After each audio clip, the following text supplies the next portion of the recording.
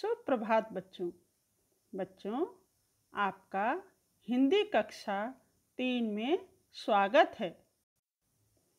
बच्चों, क्या मुसीबत के समय आपने कभी अपने मित्र यानी दोस्त की सहायता की है?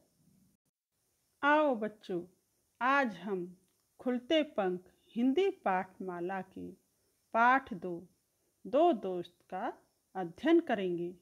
और इस कहानी के माध्यम से जानेंगे कि खरगोश ने कछुए को कैसे बचाया।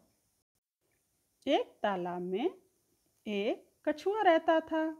पास ही एक पेड़ के नीचे बिल में खरगोश रहता था। अक्सर दोनों तालाब के किनारे मिल जाते थे। धीरे धीरे उनमें दोस्ती हो गई।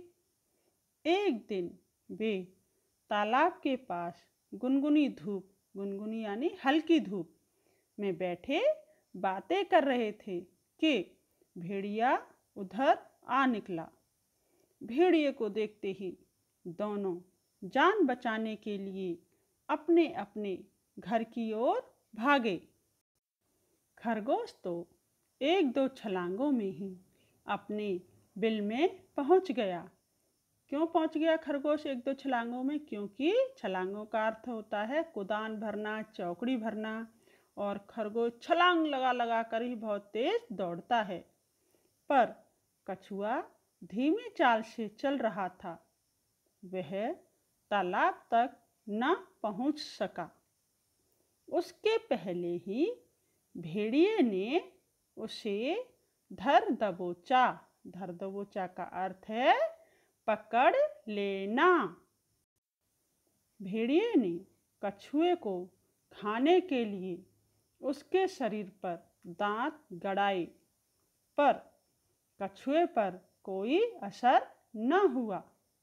भेड़िए ने नाखूनों से उसकी खाल खाल यानी चमड़ी फाड़नी चाही, पर कछुए के शरीर के ऊपर का खोल इतना सख्त यानी कठोर था कि नाखूनों का भी कोई असर नहीं हुआ। भेड़िया और तेज़ी से दांत और नाखून मारने लगा। बिल से बाहर मुँह निकाले।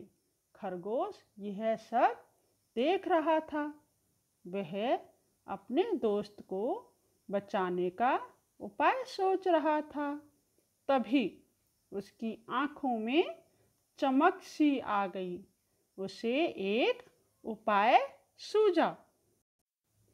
खरगोश हिम्मत करके भेड़िए के पास पहुँचा और बोला ताऊ जी यदि आप बुरा न माने तो एक बात कहूँ।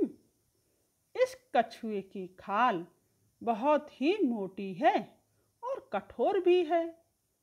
आप अपने नाखूनों या दांतों से इसे नहीं काट सकेंगे। आप ऐसा कीजिए कि इसे थोड़ी देर के लिए पानी में डाल दीजिए।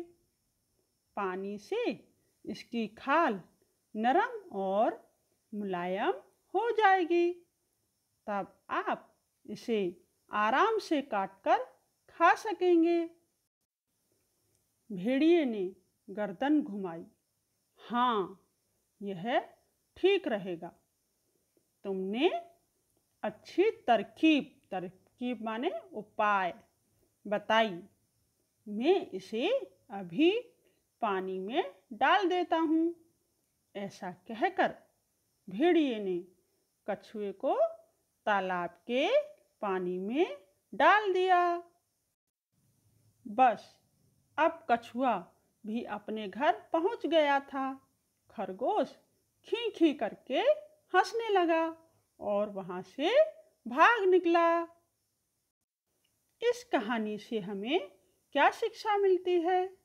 इस कहानी से हमें यह शिक्षा मिलती है कि हमें कभी भी दूसरों की बातों में नहीं आना चाहिए और सोच समझकर हमें अपने फैसले खुद लेने चाहिए।